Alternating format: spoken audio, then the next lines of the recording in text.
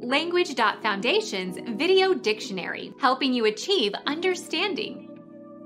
A member of an ancient Semitic people who occupied Canaan before it was conquered by the Israelites.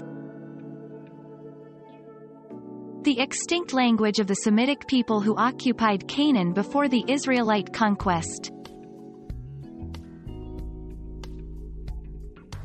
Become our student and get access to effective and free educational materials. Subscribe to our channel to become a part of our growing community and to learn English effectively.